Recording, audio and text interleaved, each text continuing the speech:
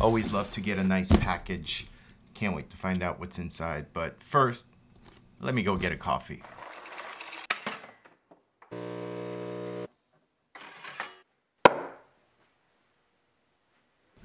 All right, now we good. Let's find out what's in this box.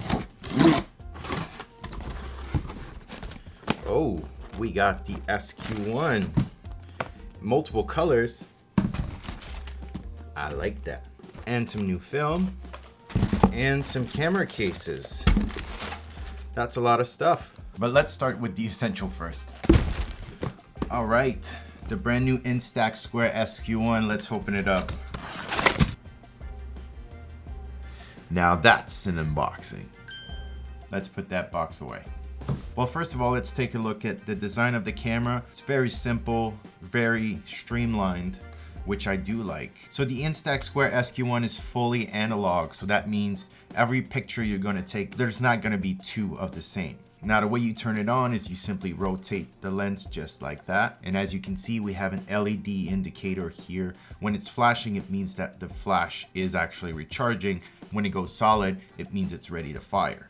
So now that we're on the topic of the lens, when you rotate it, it just turns on. As you can see, you have the on position right here. But if you rotate it once more, you go into the selfie mode.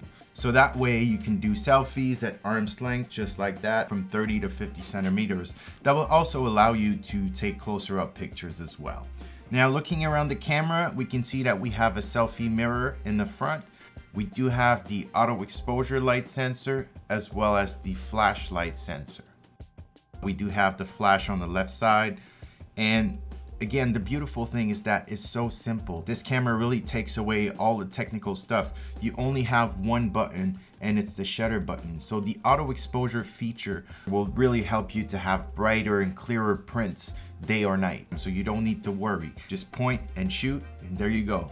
You just made a memory or a piece of art. Now I think is a good segue to introduce you to the new square films that are available. The rainbow film, monochrome, personally my favorite, and a dual pack of the Instax square film. So we are going to load up some film. So simply open up the back of the camera, take the film, drop it in there, close it, and then first you're gonna have to press the shutter button once to eject the protective card, just like that. There we go, we have our black card out. We can start to shoot. And then there we go, we can see at the back of the camera, the frame counter we have 10 frames to shoot. So the Instax Square SQ1 will be available in three colors, the terracotta orange, the glacier blue, and the chalk white. And you can also accessorize it with a camera case with a matching color. So I guess that's it.